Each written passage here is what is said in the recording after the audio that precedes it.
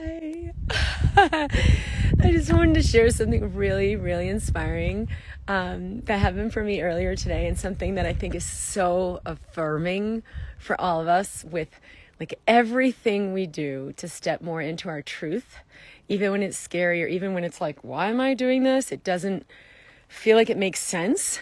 Um, I have this amazing woman who's been in my life for like seven years or something. Like many years back, I met her at this osteopathic medicine conference.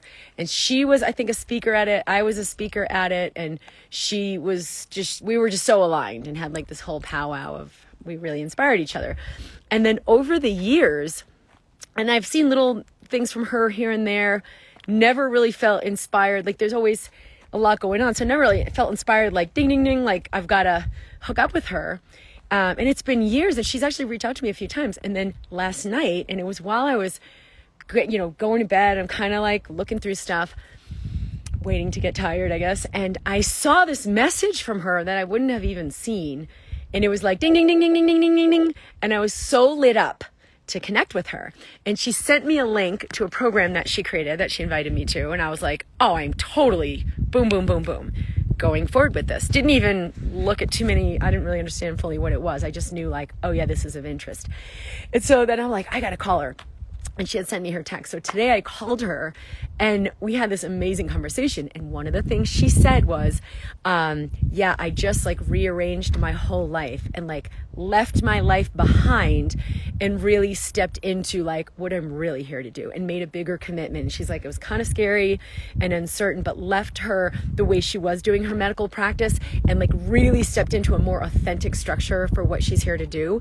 And I was like, You know what? I can feel it because I'm so lit up to like connect with you. It's it's like when I've said before about putting the light in the lighthouse. Like people can't even really see you and you don't know why, right? It's like where's your light? Are you choosing your light? Because it will light you up and then synchronicities come in, relationships come in, support comes in, like all kinds of stuff. So sometimes I, have thought of it like this it's like the only thing that could be missing in my life is more of me showing up in my life. So where am I living, like kind of hiding or in a conclusion, like, oh no, I can't do that. I gotta keep doing this. And so I don't really show up to what the, the heart is inviting me to. Like, boom, call this person or boom, do it this way instead. But if we're not listening, it's like, what are you even talking about? Or, um, you know, and then we live in this life that's kind of empty and we're like, why aren't things happening for me? So it was amazing to like connect with her and, uh, you know, and now we're moving forward in this, this other thing together that I had created, um, that she's totally excited about. And it's like, wow, this just immediately huge spark kind of picking up where we had left off. But I, I, I just thought it would be really affirming for, for anyone who is kind of in that space of like, oh, I, I know I want to do it this way, but I, I kind of can't because that doesn't make sense. Or I know I want to do this, but oh, that, that won't work out for me and everything will fall apart. So I got to stay safe. And like any ways that seem big or small, that you're not really letting that inner self lead, that inner yes, that authentic self. Um, just be willing to to trust a little bit more. Like maybe this wisdom does know what it's doing. Maybe it does have so much in store for me that can come together. So um, I hope that was inspiring because I'm super inspired about, you know, just especially for other doctors too, like how much we can be in conclusion about what we're supposed to be up to in medicine versus like what the heart is calling us to. And this woman is very expansive minded, like she's doing amazing things. So no doubt she's divinely guided. But like even those little ways where it's like, step in more fully, follow more fully. She moved, like sold her house. it was a pretty big deal. But but I think for all of us there can be like little ways that we could do that more fully in in every moment and every day. And and one of the things she reminded me too is like everything is happening. We just got to breathe our way and settle in to meet it, to meet the awesomeness that's that's here. Look how beautiful this this surrounding is. This is where we live. It's just amazing here. It's so so precious and beautiful. Um, but even even coming here was like that divine spark of like boom, boom, boom, boom, happen all at once. And I knew it was a yes. As soon as I heard about Durango, Colorado, it was like ding, ding, ding, ding, ding, ding, ding. So start, you know, dropping in a little more, a little more to presence so you can feel that di- difference between like eh. when it's not a fit or when something is really inspiring you. And then you find courage, which is love, right? I love the life that my heart, you know, that my heart's desires for this kind of life that feels a certain way or looks a certain way or certain kind of people in it find the love for that and you have courage or find the love for someone who's in your life and you have courage and then you're stronger than all the fear and all the doubt and all the stuff that can come up so anyway i wanted to share that and hope that inspires you melissa said i just did this and left the hospital setting because my soul was begging to get out. You're such an inspiration. Grateful for you and your mission. Oh, thank you. Melissa Rose. Yeah, that's another thing is like, oh, I shouldn't leave. You know, there's this structure and there's this institution and there's this system.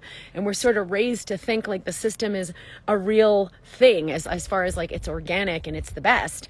And it's not. It's a constru- and contrived business structure. Like nothing wrong with that. But when you feel like this is not organic for me, step out of it create something that is because it isn't the divine intention. This is the medical field as it's really meant to be. No, this was someone's idea of a business concept that makes money off of people's illness, right? And never really brings them into health.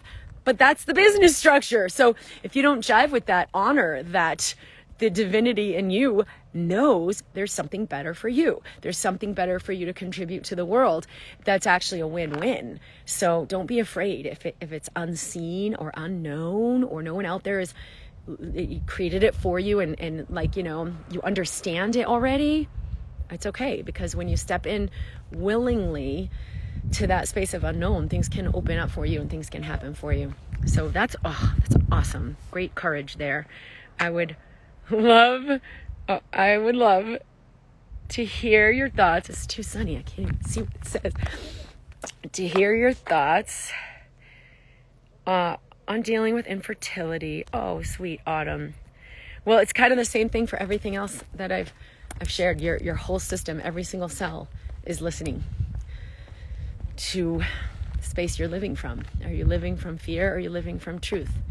And open up to more possibilities, right? It's the same thing. Like a baby coming in, a little miracle coming in your life is the same thing as like this this person coming into my life or her new business structure coming into her life. Your cells will open to allow something to be created. Um, that is your for your highest when you surrender you know when you everything i spoke about yesterday in the mind body tv broadcast kind of really speaks to this. Surrender to the process and if that's what's in store for you you'll come closer and closer and closer to it. Through letting go of attachment through letting go of the clenching of make it happen. In fact um what was it that someone just said to me of oh um what does it mean to hold space like her daughter's going through a hard time and I said, Could you hold space for that to be okay without kind of getting into control on your own? And she's like, What does it really mean to hold space?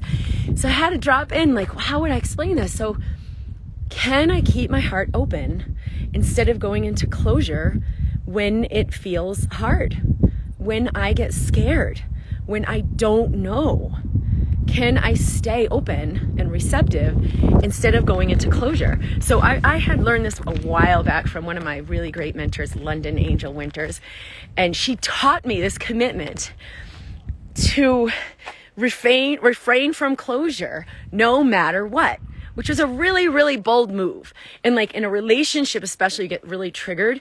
What if i release I am no longer willing to go into closure no matter what right? Because closure is like, let me protect myself, let me defend, let me attack the other person and make them wrong so they stop hurting me. Like, what if I refuse to go into closure no matter what? I stay open, I stay receptive. And then I have to kind of remember the part of me that feels threatened by this is not the real me. The part who feels threatened by this is not me. And so then I can be more willing to stay in openness no matter what's happening, especially if it's something with your child.